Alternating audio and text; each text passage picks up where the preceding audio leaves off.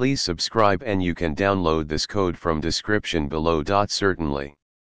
In Python, Pandas provides a powerful and efficient way to manipulate and analyze data.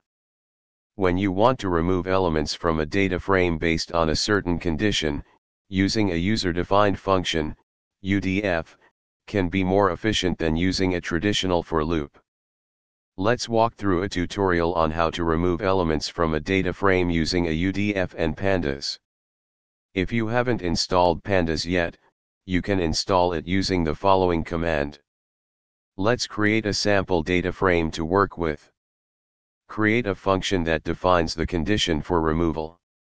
For example, let's say we want to remove rows where the age is less than 30.